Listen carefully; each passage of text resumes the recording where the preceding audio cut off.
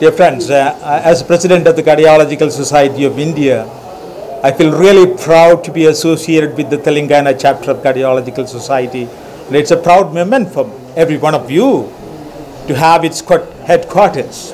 The original Andhra Pradesh chapter of the Cardiological Society was formed in 1995, and uh, it's time that uh, you have the headquarters because that will augur the other scientific activities of your society. We have been a very vibrant chapter amongst the 24 chapters of the Cardiological Society, and this could be the beginning of more uh, preventive programs, public education programs, and I wish the Cardiological Society Telangana chapter the very best.